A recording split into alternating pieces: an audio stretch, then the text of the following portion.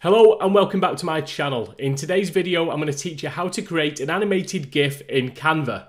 And we're going to be using some of the new Canva animation features that have just been released today in order to create some eye-catching, mouth-watering animations that will grab your viewers' attention and reel them in. So before I show you the exact process, you need to know social media has become an absolute battleground for getting people's attention. They say you've got about 2.7 seconds to grab someone's attention before they just scroll on past your content. So personally, one thing I like to do is use animated GIFs to grab people's attention. That could be Facebook posts, Instagram, anywhere that you can put an animated GIF. A blog post is another one, just to break up the structure of that blog post and put something a little bit different in there to, to, to trigger the brain to keep on looking and to, and to keep them focused and uh, attentive. So let's dive into the content. And just before we do, could you do me a favor and like this video? Jump into the comments and let me know where is it that you're creating content? Is it for YouTube, blogs, Facebook?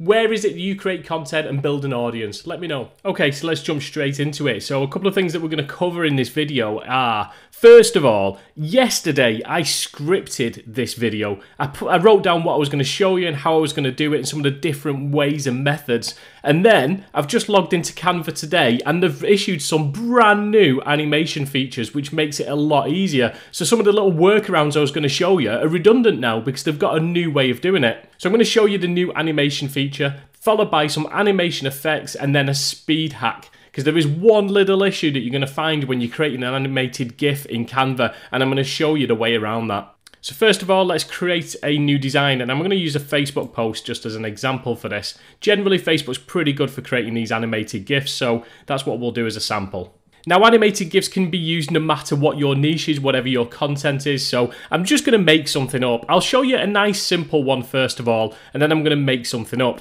So let's, for example, let's just use one of these, um, let's just use one of these samples. Let's use this spring flash sale one. Now, yesterday, what we would have had to do is click on this arrow at the top, and in this drop down here, there would have been an animation button. But look, new feature, they've moved it. There's an animate button here. So in a moment, I'm going to show you why this is a great little feature. But for now, let's just choose one of these. Let's choose that rise. And do you see, did you see the animation, how everything kind of came up from the bottom? Let me click on a different one. Let's try tumble. And everything comes in from the sides. So if you wanted, if you just wanted a one-page animated GIF, that is literally all you need to do. Click on one of these. Your various different components of that page are all going to come in with a different effect, a different style. And then we can just click on download up here and then you've got an animated GIF. So let's just watch that one back again. There you go. Very simple, very basic, but it, it, does it does the job. Now let's create a new one. Let's get rid of that. And we'll just create a blank one. I'm just going to add a background in and I'm going to keep it um, let's just keep it fairly neutral. Let's just um, let's put a nice yellow background on. And we've got various different things on the left-hand side here. If you're familiar with Canva, you'll recognize these. But we've got elements, photos, text. So elements is good because you've got loads of little animations in here as well. See these stickers? So if you click on stickers and then see all, and these different types, you've got arrows, words, food, shapes, uh, emoji, um, some social media ones as well. So these various different things in there. And also, if you search for something, so let's just put um, pop and do a search. If we click on the filter and then change it to animated, that'll just show us the animations only. So you can see these various ones here, so we could add that in if you wanted. And again, they're really good. They're almost ready-made to do an animated GIF with. So let's get rid of that one. But let's just do a very basic design. Let's add some text in. Um, what can we do? Let's just make something random up. We'll add an element and let's just see if there's any pizza elements in here. And there is. Let's use that one. Quite like that. Shrink it down a little bit. And then we'll just click on add new page at the bottom.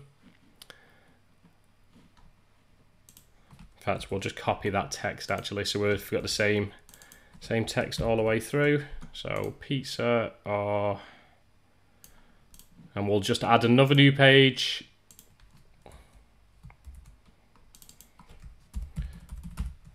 And let's put burger.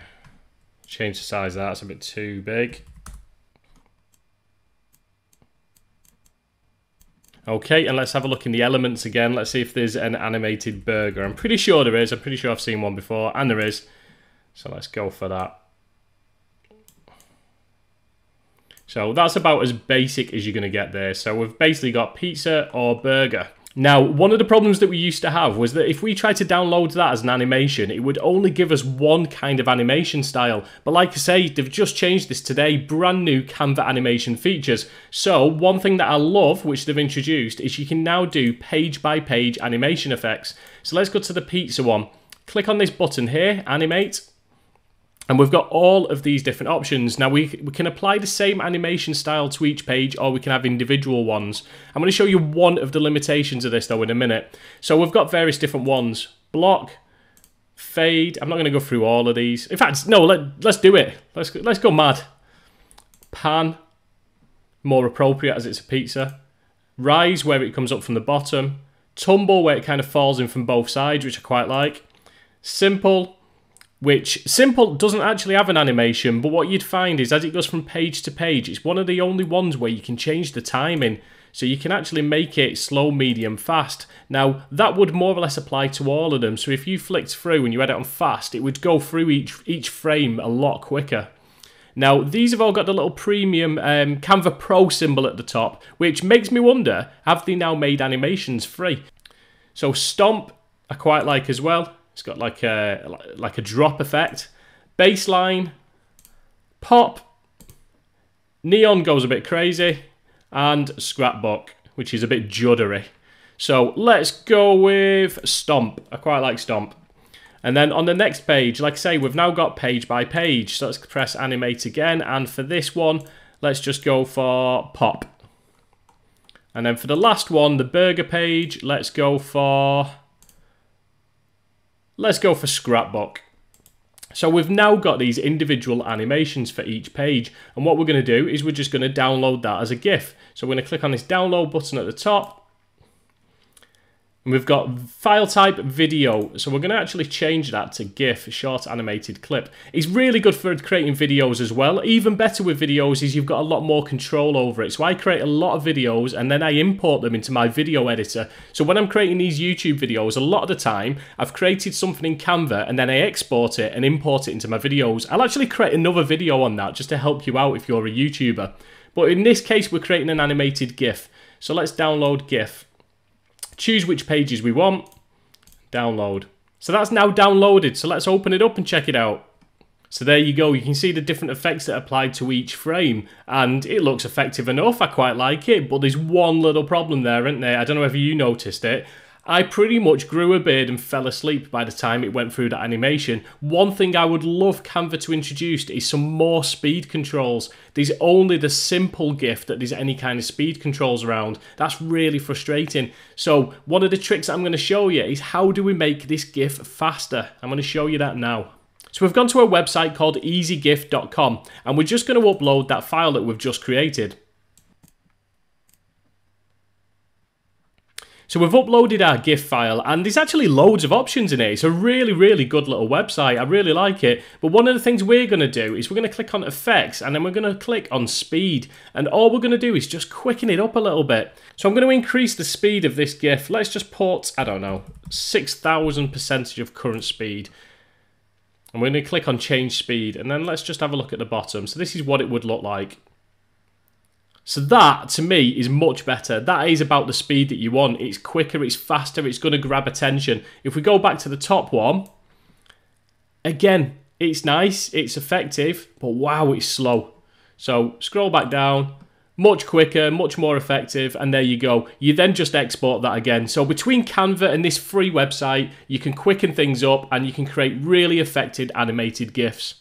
So that's how you create GIFs in Canva, one of the tools that I use daily for all of my design needs. But I should point out that at the time of recording, the animation features are actually a pro option. In other words, you've got to pay for that to get a Canva Pro. So if you're on the fence about whether you should pay for Canva Pro or just carry on using the free version, then I've got a video coming up next which should help you with that decision. It's 12 reasons why you should consider paying for Canva Pro.